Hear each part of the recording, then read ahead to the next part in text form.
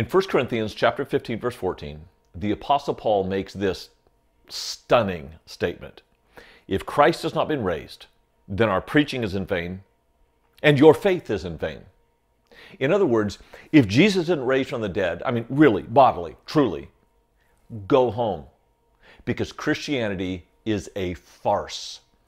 That's what Paul is saying. Now, that may seem unsettling to you until you realize how firm a foundation we have for the resurrection. Look, I'm not asking you to believe the Bible because the Bible says it. That, uh, of course, is not compelling to someone outside of Christ, someone who doesn't believe the Bible. But I want to tell you four things that virtually every historian believes about the resurrection. And if you believe these four things, then the only reasonable explanation that I can come to is that Jesus literally, bodily rose from the dead. Four simple statements of fact. Number one, Jesus died by crucifixion. Do you believe that? Well, sure. I mean, it's pretty obvious that Jesus Christ was a real person. He's mentioned not only in the Bible, but in other uh, documents in history. It's also true that Jesus, according to all four Gospels, as well as the epistles and other Jewish tra- uh, traditions, Josephus namely, as well as Tacitus, said that he died by crucifixion. So all, all the testimony is there. To suggest that the squad of soldiers led by a centurion under Pontius Pilate somehow let a guy escape, like they missed it. They, they tried to kill him and just failed. That is a ridiculous notion. Given the nature of crucifixion, the nature of the biblical account of his beatings, the sword going into his side and blood and water coming out, indicating a coronary rupture, there is virtually no way that any Roman soldier would not carry out his duty to kill a prisoner, particularly since his own life would then be in jeopardy. So that's an easy one. Number one, this is easy. Jesus died by crucifixion. Number two, the tomb was empty. That's just as easy. You see, Jews honored the dead. Even if the dead weren't honorable, to bury the dead made you honorable.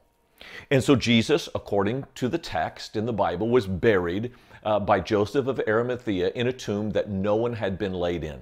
It's a unique tomb. It's a unique place. It was a private garden. It's not like you're going to have a mistaken identity and go to the wrong tomb in the wrong place. Not his mother, not Mary Magdalene, not the apostles.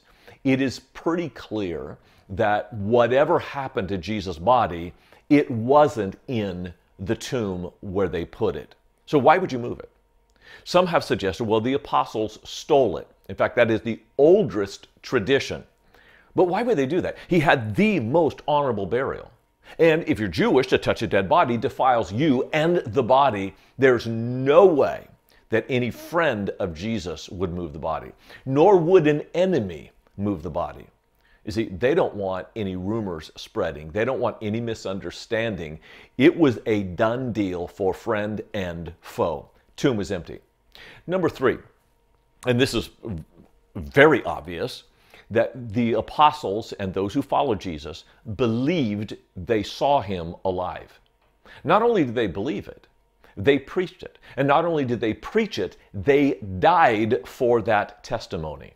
Now, you might chalk it up to a hallucination, although for the life of me, I can't figure out how multiple people have the identical hallucination at the same time.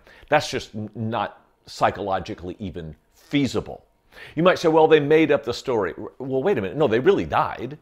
Why would they die for what they knew was a lie? That to me is even more preposterous. So, yes, the, these men believed it and they were transformed by it. Paul went from Saul the persecutor to Paul the apostle. John went from Boanerges, son of thunder, to the apostle whom Jesus loved. Peter went from coward in the courtyard to a bold proclaimer on Pentecost. Look, the, the transformed life, not to mention James, Jesus' brother. what would it take for you to be convinced that your brother or sister were actually God's son or daughter? Uh, come on these people were transformed, and their transformed lives testify to the reality of at least what they thought they saw.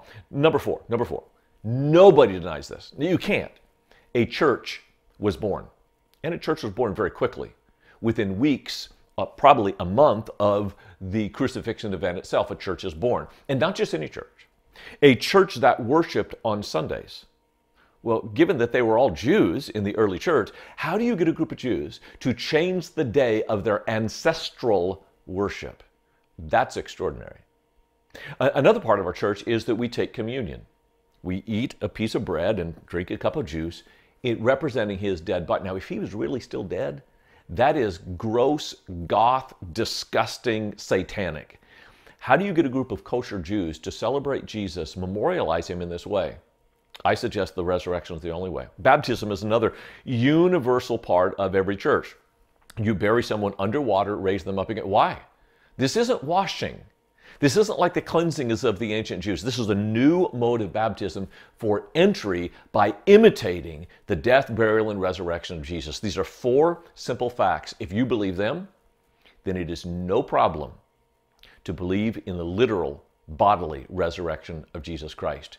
Because these four pillars are firm, our faith in Jesus Christ, the risen Lord, is firm.